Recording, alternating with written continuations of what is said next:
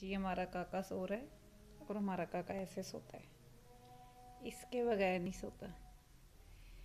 इस तरह से मज़े की नींद आती है हमारे काके को। हम्म? देखो, हमारा काका तिरछी टोपी वाला काका, तिरछी टोपी वाला।